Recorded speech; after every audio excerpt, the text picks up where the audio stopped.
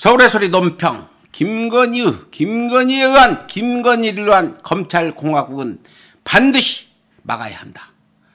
공간 쇼핑부터 피플스 하우스까지 김건희 국정농단은 이미 시작되었다. 국힘이 검찰 정상화법 중재안에 적극적인 태도를 보이며 여당인 더불어민주당과 합의했음에도 불구하고 피의자 한동훈이 반대 입장을 표명하자마자 중재안 재협상을 요구하며 검찰 정상화법 처리에 제동을 걸고 있어 이 또한 주가 조작 피의자 김건희의 작품이 아닌가 하는 의혹이 빗발치고 있다. 그도 그럴 것이 피의자 김건희는 이미 대선 전부터 한동훈과 수시로 연락을 주고받았다는 의혹과 함께 주가 조작 사건의 주의 피의자임에도 불구하고 이렇다 할 조사조차 받지 않았다. 2020년 12월 작성된 당시 검찰총장 윤석열의 징계 결정문에는 한동훈 검사장과 김건희가 얼마나 통화와 문자를 자주 받았는지 기록되어 있다.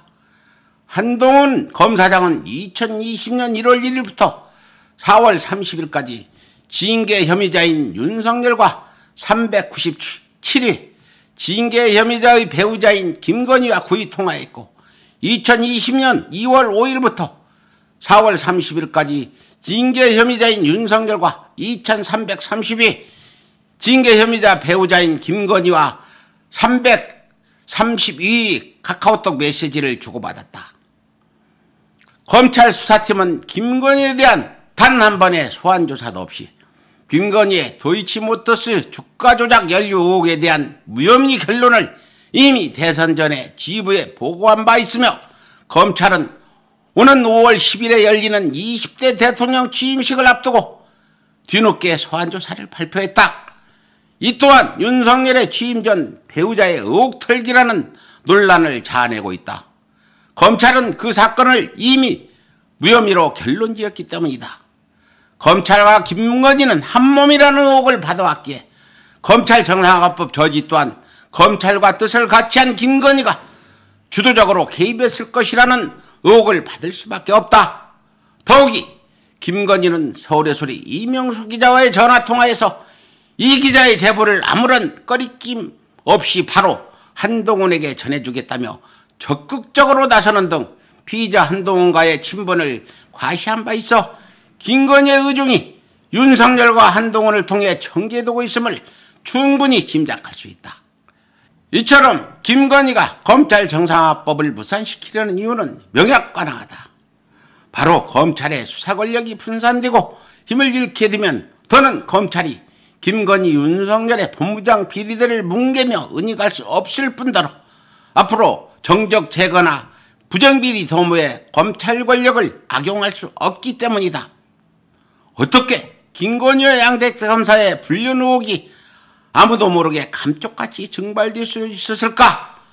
또 어떻게 유죄를 선고받은 치윤순의 사기 행각과 비리들이 증거가 명백했음에도 불구하고 수년간 은닉될 수 있었을까?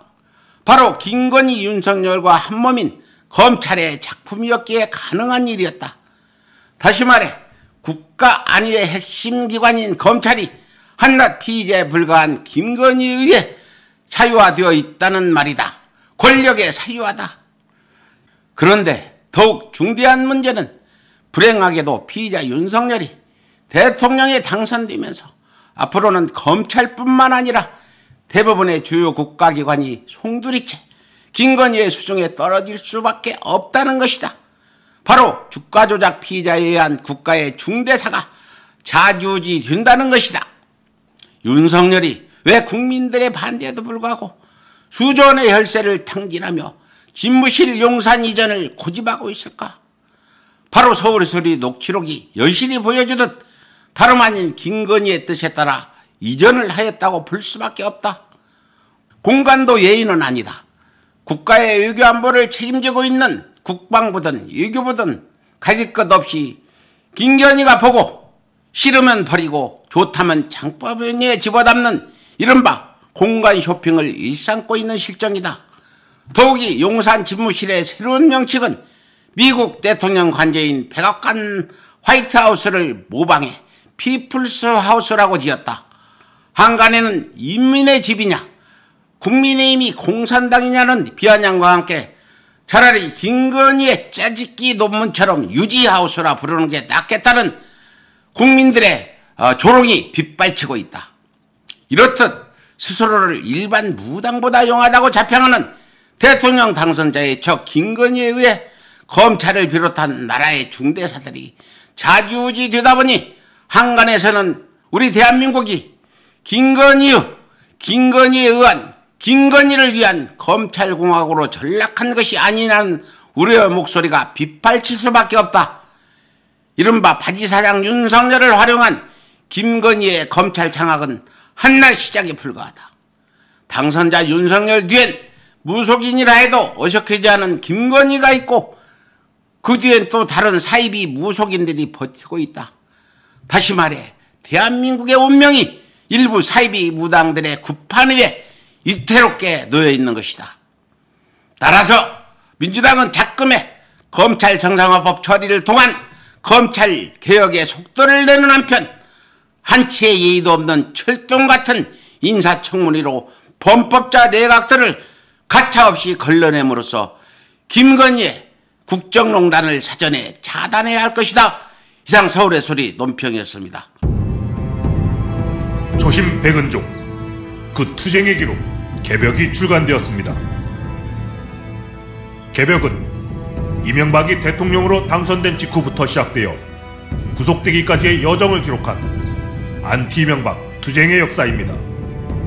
노무현 대통령 분향소를 침탈한 천인공도의 사건과 독도 소송을 함께한 이재명의 이야기 그리고 이명박 독도 발언의 진실이 담겨 있습니다.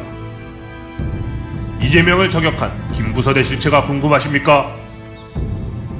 윤석열 검찰이 백은종을 사찰한 이유가 궁금하십니까? 개벽에 모든 이야기가 담겨 있습니다. 시민운동가 백은종과 서울의 소리에 힘을 보태 주십시오. 여러분의 지지와 성원을 기다립니다. 감사합니다.